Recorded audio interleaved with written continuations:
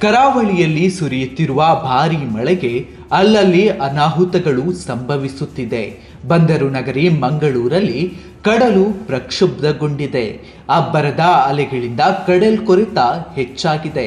ಈ ನಡುವೆ ಕೇಂದ್ರ ಸರ್ಕಾರದ ಮಹತ್ತರ ಯೋಜನೆ ಸಮುದ್ರ ಪಾಲಾಗಿದೆ. ಬರೋಬ್ಬರಿ ನೂರ ತೊಂಬತ್ತಾರು ಕೋಟಿ ರು ವೆಚ್ಚದ ಕಾಮಗಾರಿ ಸಮುದ್ರದ ಅಲೆಗಳ ಹೊಡೆತಕ್ಕೆ ನಾಶವಾಗಿದೆ. ಕಳಪೆ, ಅವೈಜ್ಞಾನಿಕ ಕಾಮಗಾರಿ, ಅಧಿಕಾರಿಗಳ ನಿರ್ಲಕ್ಷ್ಯ ಗುತ್ತಿಗೆದಾರರ ಹಣದ ದಾಹ, ಇದೆಲ್ಲ ಮೀನುಗಾರರ ಕನಸಿಗೆ ಕೊಲ್ಲಿ ಇಟ್ಟಿದೆ.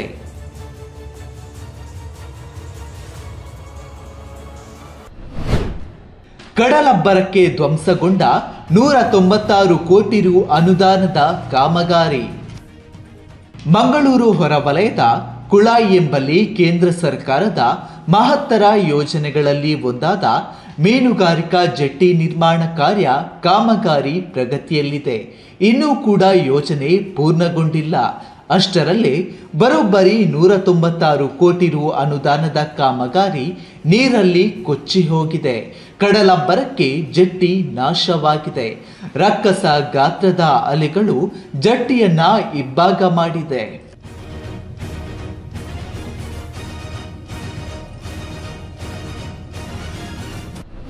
ಹನ್ನೊಂದು ಲಕ್ಷ ಟನ್ ಬಂಡೆಕಲ್ಲು ಬಳಕೆ ಮಾಡಬೇಕು. ಈ ಕಾಮಗಾರಿಗೆ ಟೋಟಲ್ ಹನ್ನೊಂದು ಲಕ್ಷ ಟನ್ ಬಂಡೆಕಲ್ಲುಗಳನ್ನು ಬಳಕೆ ಮಾಡಬೇಕು. ಆದರೆ ಈವರೆಗೆ ಬಳಕೆಯಾಗಿದ್ದು ಕೇವಲ ನಾಲ್ಕು ಲಕ್ಷ ಟನ್ ಬಂಡೆಕಲ್ಲುಗಳು ಮಾತ್ರ. ಎಲ್ ಎನ್ ಟಿ ಕಂಪನಿ ಗುತ್ತಿಗೆ ವಹಿಸಿಕೊಂಡಿದ್ದು ಹಣ ನುಂಗಿ ಸುಮ್ಮನಾಗಿದೆ. ಕಾಮಗಾರಿ ಹತ್ತಿರ ಸುಳಿಯುವುದೇ ಇಲ್ಲ ಎಂಬ ಆರೋಪ ಇದೆ. ಭಗ್ನಗೊಂಡ ಬಹುದಿನಗಳ ಕನಸು ಮೀನುಗಾರಿಕಾ ವಲಯದಲ್ಲಿ ಆತಂಕ ಸೃಷ್ಟಿ. ಕೇಂದ್ರ ಸರ್ಕಾರದ ಯೋಜನೆಯಿಂದ ನಮ್ಮೆಲ್ಲ ಕನಸುಗಳು ನನಸಾಗುತ್ತದೆ ಎಂಬ ಅಚಲ ನಂಬಿಕೆ ಕರಾವಳಿ ಮೀನುಗಾರರಲ್ಲಿತ್ತು. ಮೀನುಗಾರಿಕೆಗೆ ಒತ್ತು ಸಿಕ್ಕಿ ಬದುಕು ಸುಂದರವಾಗುತ್ತೆ ಅನ್ನೋವಾಗ್ಲೇ ಮೊದಲ ಮಳೆಗಾಲದಲ್ಲಿ ಕನಸು ಭಗ್ನವಾಗಿದೆ. ಕಡಲಬ್ಬರಕ್ಕೆ ಜಟ್ಟಿ ಧ್ವಂಸಗೊಂಡಿದೆ. ಕಳಪೆ ಕಾಮಗಾರಿಯ ವಿರುದ್ಧ ಮೀನುಗಾರರು ಗರಂ. ನಿರ್ಮಾಣ ಹಂತದಲ್ಲಿರುವಾಗಲೇ ಅವೈಜ್ಞಾನಿಕ ಜಟ್ಟಿ ನಿರ್ಮಾಣದ ವಿರುದ್ಧ ಮೀನುಗಾರರು ಆಕ್ರೋಶಗೊಂಡಿದ್ದರು. ಕೈಗೆ ಬಂದ ತುತ್ತು ಬಾಯಿಗೆ ಬಂದಿಲ್ಲ ಅನ್ನುವ ಹಾಗೆ ಆಗಬಾರದೆಂದು ಜಟ್ಟಿ ನಿರ್ಮಾಣ ಸಮಯದಲ್ಲಿಯೇ ಗರಂ ಆಗಿದ್ದರು.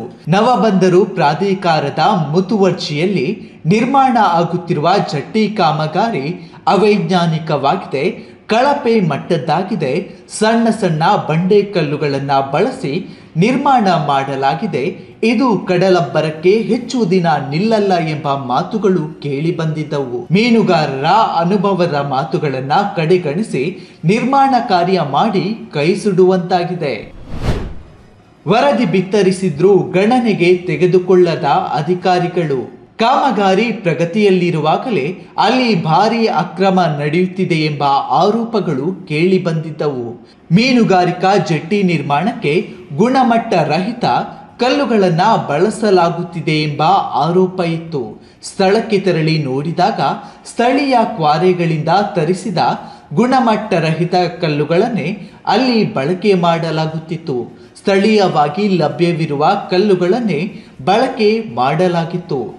ಸಣ್ಣ ಗಾತ್ರದ ಕಲ್ಲುಗಳಿಂದ ಜಟ್ಟಿ ನಿರ್ಮಾಣ ಮಾಡಿ ಈಗ ಧ್ವಂಸ ಆಗಿದೆ. ಈ ಬಗ್ಗೆ ಆಗಲೇ ಸಂಬಂಧಪಟ್ಟ ಅಧಿಕಾರಿಗಳಿಗೆ ಮಾಹಿತಿ ಕೊಟ್ಟರೂ ಅಧಿಕಾರಿಗಳ ನಿರ್ಲಕ್ಷ್ಯದಿಂದ ಈ ಕಾಮಗಾರಿ ಕಡಲಬ್ಬರಕ್ಕೆ ಧ್ವಂಸಗೊಂಡಿದೆ.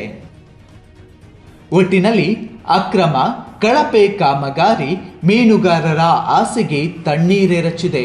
ನೂರಾರು ಕೋಟಿ ರು ವೆಚ್ಚದ ಕಾಮಗಾರಿ ಕಳಪೆ ಮಟ್ಟದ್ದಾಗಿದ್ದು ಕಮಿಷನ್ ಆಸೆಗೆ ಬಿದ್ದು ಹಣ ದಾಸೆಯಿಂದ ಮೀನುಗಾರಿಕಾ ಜೆಟ್ಟಿ ಕಡಲಲ್ಲಿ ಕೊಚ್ಚಿ ಹೋಗುತ್ತಿದೆ.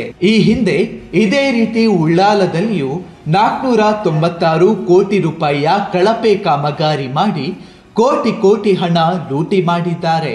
ಈಗ ಮೀನುಗಾರಿಕಾ ಜೆಟ್ಟಿ ನಿರ್ಮಾಣ ಮಾಡಲಾಗುತ್ತಿದ್ದು, ಕಡಲ ಒಡಲಿಗೆ ಕಲ್ಲು ಹಾಕಿ ಒಂದೆಡೆ ಕಾಮಗಾರಿಯೂ ಸರಿಯಾಗದೆ ಕಡಲು ಹಾಳಾಗುತ್ತಿದೆ. ಈ ಬಗ್ಗೆ ಸಂಬಂಧಪಟ್ಟ ಇಲಾಖೆಯೇ ಮೌನವಾಗಿದ್ದು ಇನ್ನಾದರೂ ಎಚ್ಚೆತ್ತುಕೊಳ್ಳುವ ಅನಿವಾರ್ಯತೆ ಬೆಟ್ಟದಷ್ಟಿದೆ.